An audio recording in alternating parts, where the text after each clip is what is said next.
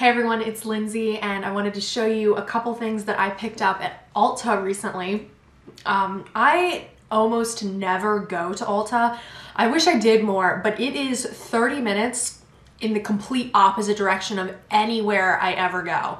Um, I'm always like, you know, my office, all the errands I run, everything I do is 30 minutes the other way, and Ulta is 30 minutes the opposite way. So it's just the only time I ever get over there is to go to Ulta. So it's not something, and I'm not the kind of person who just goes one place for something. Like I always am trying to tie a bunch of trips in.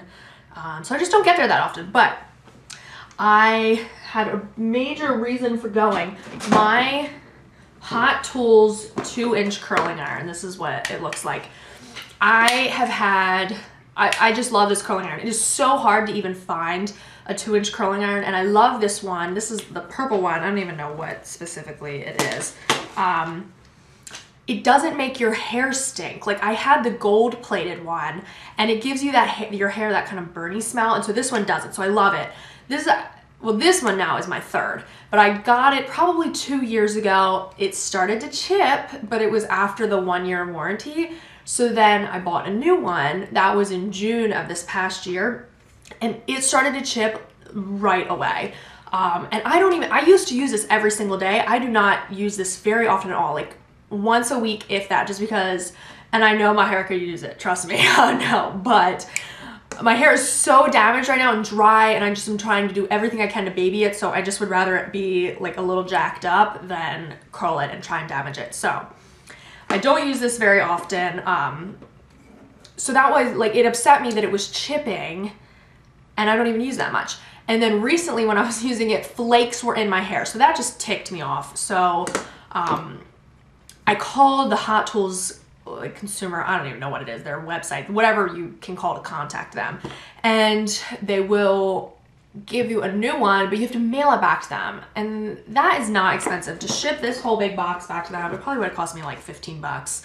So I called Ulta just to see if maybe there's any chance that I could exchange it or anything.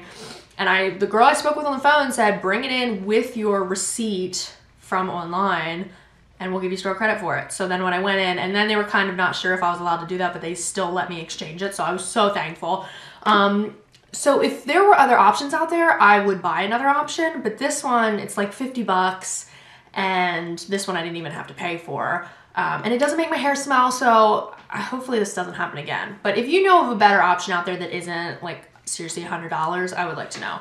But um, so that was like a long story to tell you. That's the reason I went to Ulta. But then as fate would have it, I was sent the 20% off coupon the night before, well, I only looked at it the night before I was gonna go. So, so excited while I was there. Obviously, I have to take advantage of 20% off. So, picked up a couple things and I thought I'd share them to you. First of all, I was had little to no nothing left of my dry shampoo and I cannot go without dry shampoo because yeah, my hair's already a mess and it can't be a greasy mess. So um, while I was there, I saw the Batiste dry shampoos. And I, okay, I have been using dry shampoo for a long time. Like since they became, started like, I mean, I don't know how long they've been around. I was using dry shampoo back in the day. Not dry shampoo, baby powder back in the day. And then once I started hearing about dry shampoo, then I picked up Batiste. The first one I ever tried was from Sally's and liked it just fine. But then I went on to try other things and just never went back to it. But I know that Leighannsays raves about this one, the Sassy and Daring Wild. So I picked up that one and then I saw this one, a hint of color, light and blonde. And I thought how cool because dry shampoo is already kind of powdery and white looking. But if this one's kind of blonde, then as I'm getting some uh, trashy roots, I can spray them and freshen them up a little bit. My hair is not dirty, but it's pretty limp right now. It's pretty like silky. But I don't know if you can tell. I didn't spray much. I think it can be like easy to probably go overboard with that, but it definitely like a tiny bit lightened my roots. And like here, I always get pretty greasy. Woof, this is a blast. But yeah. So I have not had a chance to use these very much, but I think I really like them. though. you can see the kind of yellow in there.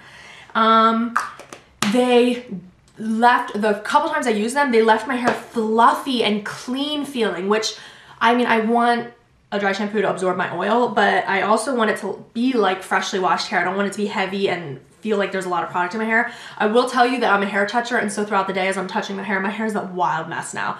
Um, as I was touching my hair, I, my hands were powdery. Like I felt like they never got, like my, and the, the powder never got out of my hair, but I can deal with that if it leaves my hair fresh and everything. So picked up those. I think I'm liking them so far. Then I was over looking at the NYX stuff and I picked up this shadow. I don't even know if I can really use this, but I thought it looked pretty and I don't have anything like it. This is the color Fairy, which I think is a very good name for it. It is the softest uh, frosty pink and it has glitter in it. And I am not a glitter person just because it annoys me when it falls out. Um, but I thought this was just so pretty as like a base color to work around then for bridal looks or just for like really soft angelic look. So that's the, the shadow. I tried using it once and literally the glitter fell out all over. So that might get super annoying, but the color itself, really pretty. It, I could do without the glitter, to be honest though. Then I was looking at the NYX lipsticks. I saw this one. These are just their, the NYX round lipsticks. This is 529 Thalia. And that's the color. And I picked this up because I thought, oh, looks like uh, my Viva Glam 2. And I'm always looking for a dupe for that. Um, which I don't know why. It's what, $14, $15. It's not even that much, that expensive. And the formula is just to die for. But, so I swatched them side by side.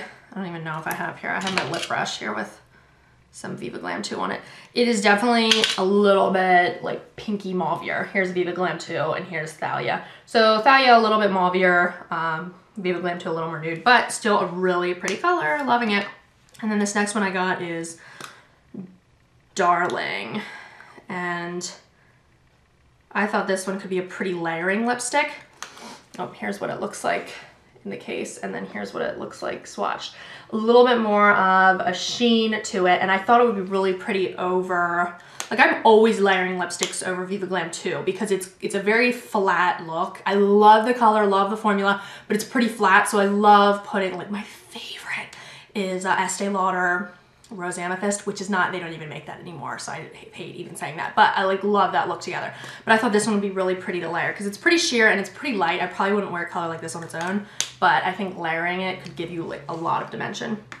So then while I was there, I needed this like a hole in the head, but I was looking, I was looking at the, um, the Urban Decay Naked Basics palette and it is really nice. And I know that if I got that, I would use it a lot I did not get it because I know that I have pretty much all of those shadows somewhere else. And if I got that, I would probably only use that. And I'm already like, I just love a neutral eye. I love to just quick grab for what I know and I end up wearing the same thing all the time.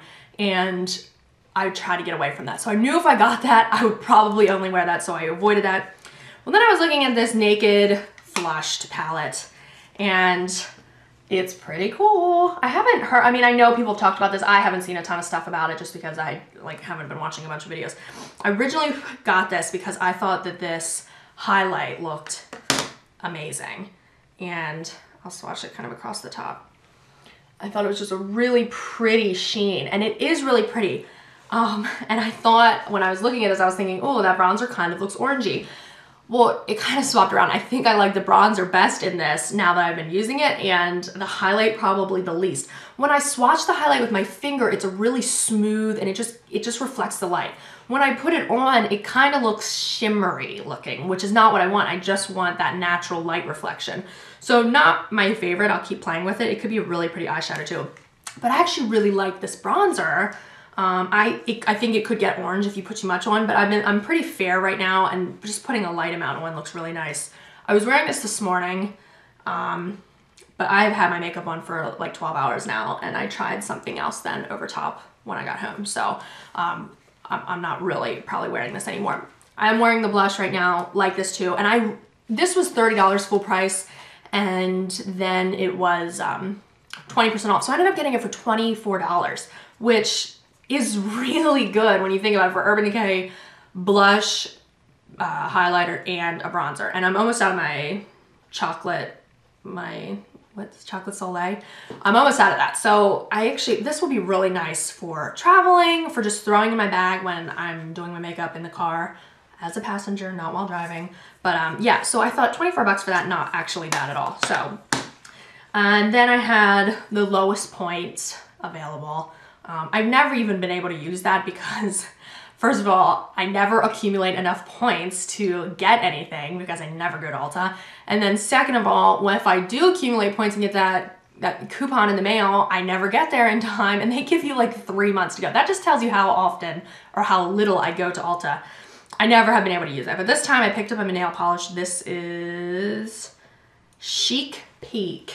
And I just thought this was really a neat color and one I don't have. It's kind of like a cool brown, shimmery color. I don't know how to describe it very well, but it looks pretty cool. So I picked that up. That was free.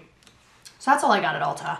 Um, I just wanted to share it with you. But yeah, let me know if you've tried any of these things. Let me know if you have a better suggestion for curling iron. I'll keep using this one until it crackles on me again, which I'm sure that it will. Just what a disappointment. But yeah, let me know. Hope you're having an awesome week and I'll talk to you soon. See you everybody.